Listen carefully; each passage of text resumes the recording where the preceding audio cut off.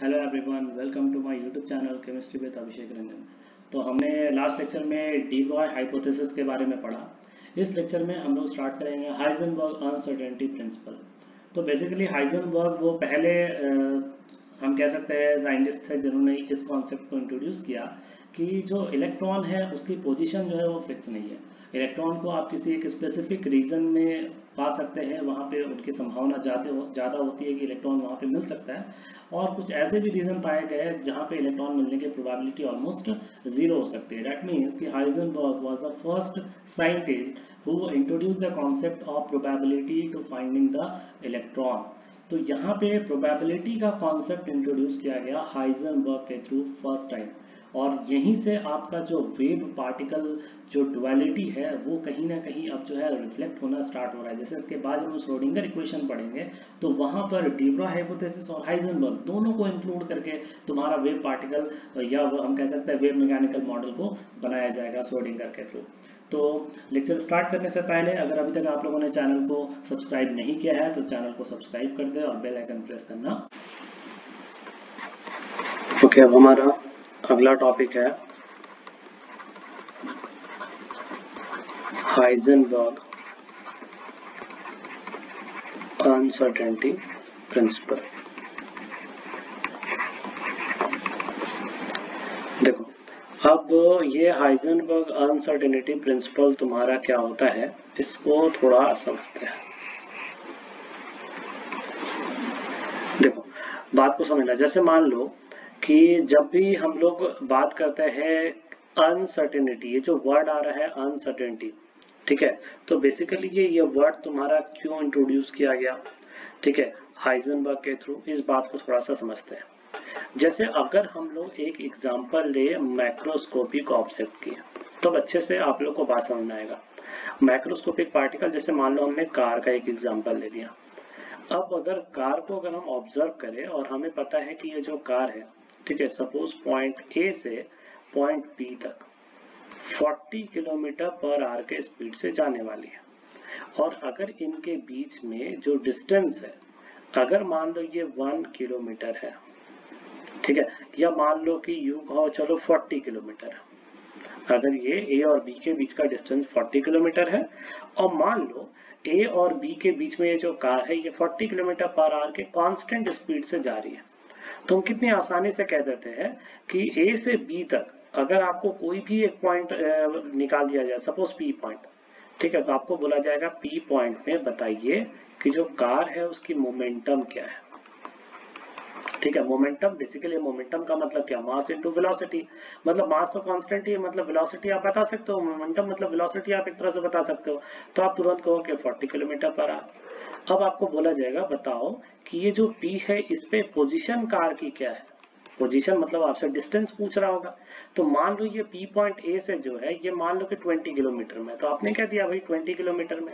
तो आप देखो पॉइंट P में आपने पोजीशन कार की बता दी एग्जैक्ट 20 किलोमीटर और उस पॉइंट P पे उस कार की मोमेंटम या वेलोसिटी आपने बता दिया।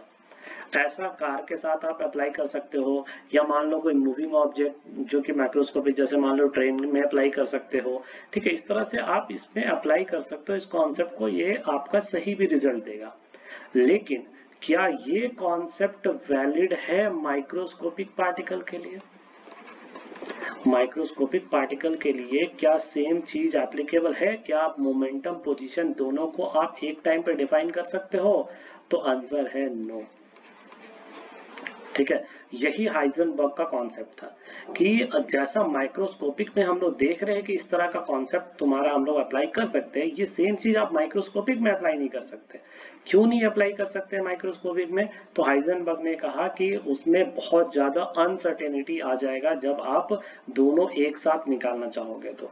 ठीक है? तो हाइजनबर्ग ने क्या कहा? तो उन्होंने कहा according to according to Heisenberg ठीक है, अच्छे से इसको समझते हैं। If any microscopic particle microscopic particle याद रखना, जब भी मैं माइक्रोस्कोपिक पार्टिकल बोलूँ मतलब इलेक्ट्रॉन प्रोटॉन इस तरह के पार्टिकल की बात हो रही है।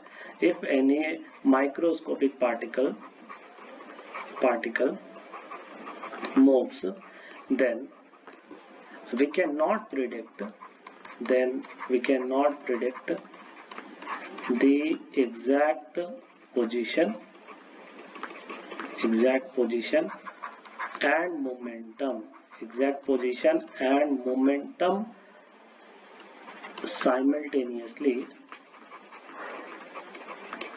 at the same instant of at the same instant तो आप उसी टाइम पे अगर आप बोलोगे कि हम पोजीशन भी डिटरमाइन कर ले और मोमेंटम भी डिटरमाइन कर ले तो ये कभी भी पॉसिबल नहीं है ठीक है? सो so, आप दोनों को किसी एक को ही आप एक्यूरेटली मेजर कर सकते हैं एट अ टाइम पे दूसरे को एक्यूरेटली मेजर कर पाना पॉसिबल नहीं है। तो हमने कहा let delta X and delta V या डेल्टा पी को be the uncertainty uncertainty uncertainty का मतलब एक तरह से आप क्या कह सकते हो? एरर ठीक है? अनसर्टेनिटी मतलब क्या आप उसके बारे में श्योर नहीं हो? श्योर नहीं है तो मतलब क्या हो सकता है कि आप उसका ज़्यादा भी कह सकते हो, कम भी कह सकते हो? मतलब ये कि वहाँ पे चांसेस होगा कि आप एक्यूरेट नहीं बता रहे हो डेट मीन्स की अनसर्टेनिटी यहाँ पे एरर को रिप्रेजेंट कर सकता है। तो आपने कहा let delta x and delta p be the uncertainty in the position in the position and momentum momentum of microscopic particle. Microscopic particle. Then, ये हाइजनबर्ग के अकॉर्डिंगली क्या कहा गया कि इन दोनों का जो प्रोडक्ट होगा greater than equals to h by four pi के इक्वल होगा। अब देखो ये जो डेल्टा पी है, आप इसे लिख सकते हो मोमेंटम है तो क्या लिख सकते हो? मास इंटू डेल्टा वी जहाँ पे डेल्टा वी क्या आ जाएगा आपका? तो एक तरह से एरर कहो या अनसर्टिनिटी कहो।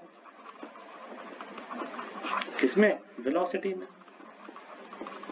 तो आप इसको यहाँ पे पुट कर सकते हो। Delta x into delta v जो एम का वर्ड टर्म आएगा, उसको मैंने इधर भेज दिया फोर बाई एम तो ये आपका हो गया Heisenberg principal.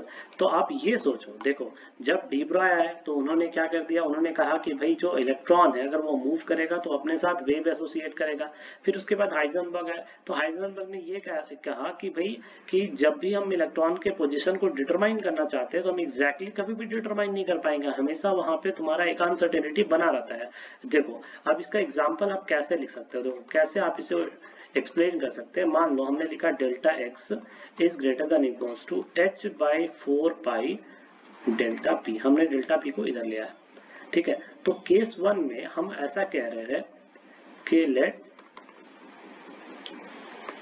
let error in error in momentum error in momentum is approximately zero ठीक है? देखो मोमेंटम में एरर क्या है? अप्रोक्सीमेटली ज़ीरो है। कहने का मतलब कि मोमेंटम जो है वो सर्टेन है। मोमेंटम इज़ सर्टेन ठीक है? मोमेंटम जो फिक्स है। आपको पता है एग्जैक्टली कितना मोमेंटम है उस पॉइंट पे। तो ऑब्वियसली वहाँ पे एरर मोमेंटम क्या हो गया? अप्रोक्सीमेटली ज़ीरो तो डेल्टा पी जो है वो ज़ीरो का अप्रोच कर रहा है। जब आप ज़ीरो पुट करोगे तो देख रहे हो ना delta x infinite delta x infinite का मतलब कि पोजीशन जो है पोजीशन जो है वो हो गया अनसर्टेन ठीक है? सो so, हम लोग यहाँ पे कह सकते हैं कि अब देखो जैसे मोमेंटम आपने डिफाइन कर दिया तो पोजीशन अनसर्टेन हो गया उसमें इनफाइनाइट एरर हो गया तुम्हारा। और केस टू इसी तरीके से हम कह सकते हैं, delta p greater than equals to h by four by delta x अब देखो, आपने कहा let error in error in position position is approximately zero ठीक है तो आपने एरर कहा ज़ीरो मतलब ये कि पोजीशन इस बार आपने सर्टेन कर दिया। पोजीशन इज़ सर्टेन मतलब आप आप उसका पोजीशन एग्जैक्टली exactly बता पा रहे हो। तो उस पॉइंट पे आप क्या कहोगे कि डेल्टा एक्स में कोई एरर नहीं है तो ज़ीरो का अप्रोच कर रहा है तो डेल्टा पी क्या हो जाएगा इस बार? इनफाइनाइट हो जाएगा। तो मतलब ये कि अब मोमेंटम जो हो गया, वो अनसर्टेन हो गया। मोमेंटम इज़ अनसर्टेन तो आप यहाँ पे देख सकते हो कि आप दोनों एट अ टाइम एक ही वक्त कभी भी एग्जैक्टली exactly फाइंड नहीं कर पाओगे तुम्हारा। ठीक है? यही कहना था तुम्हारा किनका? हाइजनबर्ग अनसर्टेनिटी प्रिंसिपल का यही कहना था। तो देखो इसको बहुत लोग तुम्हारा एक्सप्लेन भी किस तरीके से करते हैं, उसका एक एक्सप्लेनेशन भी मैं आप लोग को यहाँ पे बता देता हूँ, ठीक है? ऐसा हालाँकि तुम्हारा ये ये सब चीज़ आपको एनसीईआरटी में तो नहीं मिलेगा, लेकिन फिर भी आप इसके बारे में थोड़ा सा आप सोच सकते हो ना सोचोगे तो आप पता कर सकते हो। जैसे मान लो कि हमने एक यहाँ पे इलेक्ट्रॉन टेलीस्कोप या मान लो इलेक्ट्रॉन माइक्रोस्कोप मान लो लगा दिया और इससे हम ऑब्ज़र्व कर रहे हैं और मान लो कि एक तुम्हारा सपोज़ इलेक्ट्रॉन इस सरफेस को स्ट्राइक कर रहा है। या मान लो फोटोन या इलेक्ट्रॉन जो भी को ठीक है? अब मान लो कि ये जिस एनर्जी से स्ट्राइक कर रहा है, उसके कोरस्पॉन्डिंग जो वेवलेंथ है, वो लैम्डा है। ठीक है? उसके कोरस्पॉन्डिंग वेवलेंथ जो है, वो लैम्डा है।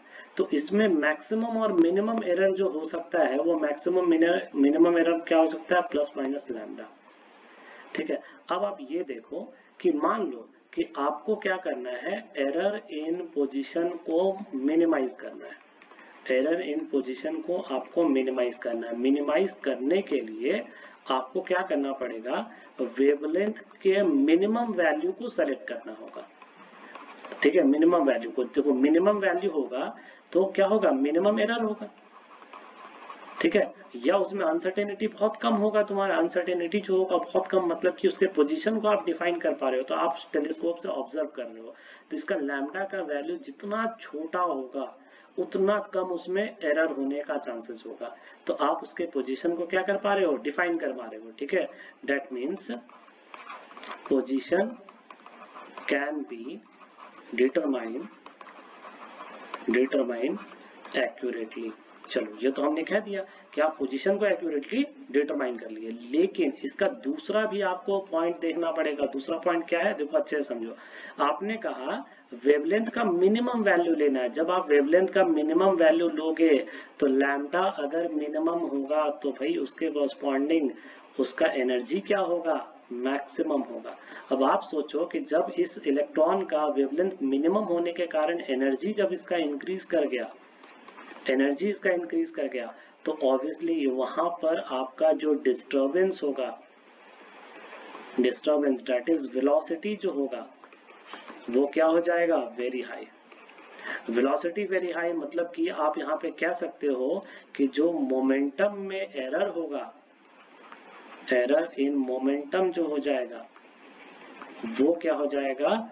काफ़ी ज़्यादा हो जाएगा। वेरी हाई ठीक है, क्योंकि वेलोसिटी में अचानक से तुम्हारा, देखो वेलोसिटी का वैल्यू काफ़ी ज़्यादा बढ़ गया तो अगर v का वैल्यू बहुत ज़्यादा बढ़ जाएगा तो ऑब्वियसली इसमें एरर बढ़ने का भी चांसेस या अनसर्टेनिटी भी क्या हो जाएगा? काफ़ी ज़्यादा हो जाएगा, ठीक है? तो अनसर्टेनिटी ज़्यादा हो जाएगा तो इसलिए हम कह सकते हैं भाई कि यहाँ पे तुम्हारा डेल्टा पी या एरर मोमेंटम भी क्या हो जाएगा? इंक्रीज कर जाएगा। जैसे मान लो कि अगर आपको एक सिंपल एग्जांपल समझो, बहुत अच्छे समझ में आ जाएगा। वन सेंटीमीटर का आपको लेंथ मेजर करना है।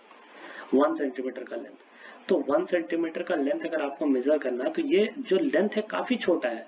तो इसमें जो मैक्सिमम मिनिमम एरर होने का चांसेस हो सकता है, वो काफ़ी छोटा होगा। वन सेंटीमीटर तो आप इसमें कितना गड़बड़ कर सकते हो? आप कह सकते हो ना पॉइंट वन का पॉइंट वन सेंटीमीटर आपने बढ़ा दिया या पॉइंट वन घटा दिया। मैक्सिमम कितना कर सकते हो? भाई एक सेंटीमीटर आप दो सेंटीमीटर बोल दोगे? लेकिन अगर मान लो आपको अगर तुम्हारा मेजर करना है टेन किलोमीटर का डिस्टेंस तो आप ये सोचो कि 10 किलोमीटर तो ये डिस्टेंस आपने काफ़ी ज़्यादा ले लिया। तो ऑब्वियसली यहाँ पे एरर का चांसेस भी काफ़ी ज़्यादा हो सकता है। हो सकता है कि आपने क्या किया? नाइन ही किलोमीटर मेजर कर दिया। तो नाइन किलोमीटर मेजर कर दिया तो वन किलोमीटर का एरर आ गया। अब देखो, यहाँ पे पॉइंट सेंटीमीटर का भी एरर हमें बड़ा लग रहा था। लेकिन यहाँ पे देखो वन किलोमीटर का एरर आ गया। वन किलोमीटर का मतलब थाउज़ेंड मीटर मतलब कि देखो इतना सेंटीमीटर का एरर आ गया। अब देखो, जितना ज़्यादा वैल्यू देखो वन सेंटीमीटर था तो एरर भी उसके अकॉर्डिंग हो रहा था। टेन किलोमीटर था तो देखो, उसके उसके अकॉर्डिंग एरर भी इतना आ रहा था। तो यही मैं यहाँ पे कहना चाह रहा हूँ कि अगर आप यहाँ पे लैमडा मिनिमम लेते हो तो ऑब्वियसली एरर जो होगा, देखो लैमडा मिनिमम हुआ तो एरर भी क्या होगा? मिनिमम होगा। मिनिमम एरर होगा तो पोजीशन आप एक्यूरेटली डिटरमाइन कर सकते हो मतलब डेल्टा एक्स आप डिफाइन कर सकते हो। लेकिन उस पॉइंट पे जब आप दूसरे एस्पेक्ट को स्टडी करते हो तो लैम्डा मिनिमम के कारण एनर्जी मैक्सिमम हो जाएगा। एनर्जी अगर मैक्सिमम हो गया तो वेलोसिटी क्या हो जाएगा? उसका काफ़ी ज़्यादा हो जाएगा। और वेलोसिटी अगर ज़्यादा हो गया तो उसमें एरर भी काफ़ी ज़्यादा हो जाएगा। मतलब मोमेंटम अनडिफाइंड हो गया। इसलिए मैं बोल रहा था कि माइक्रोस्कोपिक पार्टिकल के लिए कभी भी आप पोजीशन और मोमेंटम को एक्यूरेटली एक ही टाइम पे डिफाइन नहीं कर सकते हो। ठीक है? सो हाइजनबर्ग प्रिंसिपल में हमने ये देखा कि इन्होंने अब इलेक्ट्रॉन के पोजीशन में अनसर्टेनिटी इंट्रोड्यूस कर दिया। मतलब जो अभी तक बोर मॉडल कहते थे कि इलेक्ट्रॉन आराम से सर्कुलर पाथ में रिवॉल्व कर रहा होगा। अब इस तरह का कोई एस्पेक्ट है ही नहीं हाइजनबर्ग के थ्रू हाइजनबर्ग ने कहा, कह दिया भाई, जैसे बोर ने कहा कि ये न्यूक्लियस और इस न्यूक्लियस के चारों तरफ़ इसमें आराम से इलेक्ट्रॉन जो है वो रिवॉल्व कर रहा होगा। लेकिन तुम्हारा क्या हुआ? हाइजनबर्ग ने कह दिया इलेक्ट्रॉन यहाँ भी रिवॉल्व कर सकता है इलेक्ट्रॉन यहाँ भी हो सकता है और इलेक्ट्रॉन यहाँ भी हो सकता है। तो देखो, ये था बोर के अकॉर्डिंग लेकिन हाइजनबर्ग के अकॉर्डिंग क्या आ गया? प्रोबेबिलिटी का कॉन्सेप्ट आ गया। मतलब ये इतने सारे रीजन में कहीं भी मिल सकता है। तो इस तरह से डीब्रॉय ने वेब थ्योरी इंट्रोड्यूस कर दिया और हाइजनबर्ग ने इंट्रोड्यूस कर दिया प्रोबेबिलिटी का कॉन्सेप्ट अब ये दोनों कॉन्सेप्ट जब श्रोडिंगर के साथ मिल जाएगा तो हमारा नया एटॉमिक मॉडल बनेगा that is wave mechanical model तो अब हम लोग श्रोडिंगर इक्वेशन में आएँगे तो पहले आप लोग यहाँ तक नोट कर लो। देखो, हमारा पहला क्वेश्चन जो है, इसमें बोला जा रहा है the uncertainty in the position of an electron is 0.33 मतलब डेल्टा एक्स का वैल्यू दिया हुआ है 0.33 picometre that is minus twelve metre what will be uncertainty in its velocity देखो इलेक्ट्रॉन है तो इलेक्ट्रॉन का तो मास पता है हमें। 9.1 point one into ten power minus thirty one k g और हमें वेलोसिटी में अनसर्टेनिटी यानी डेल्टा वी निकालना है। तो हम लोग क्या लिख सकते हैं? Delta x delta p equals to आप लेकर उसको सॉल्व कर सकते हो, कोई दिक्कत नहीं है। तो delta x into m into delta v equals to h by four pi तो यहाँ से डेल्टा वी का वैल्यू क्या हो जाएगा? H by four pi into m into delta x सारे वैल्यू को पुट कर दो। प्लैंक्स कांस्टेंट का वैल्यू पता है हमें। Four into three point one four into m का value nine point one into ten to the power minus thirty one into delta x का वैल्यू आपका zero point three three into ten power minus twelve metre इसको solve कर लेंगे। आ जाएगा हमारा answer इसमें। अब आते हैं सेकंड क्वेश्चन देखो a particle with mass 50 kg mass दिया हुआ है 50 kg चलो ठीक है। With uh, moving with 600 meter per second with an accuracy in velocity of 0.003 याद रखना कि जैसे velocity है उसका 600 मीटर पर सेकेंड तो उसमें जो अनसर्टेनिटी है वो कितना परसेंट का 0.003 परसेंट का अनसर्टेनिटी है तो डेल्टा वी क्या हो जाएगा? 600 hundred into zero point zero zero three by hundred तो ये कितना हो जाएगा तुम्हारा 0.018 मीटर पर सेकेंड का अनसर्टेनिटी डेल्टा वी में आ जाएगा। तो अब आपको क्या निकालने पूछ रहा है? डेल्टा एक्स कितना होगा?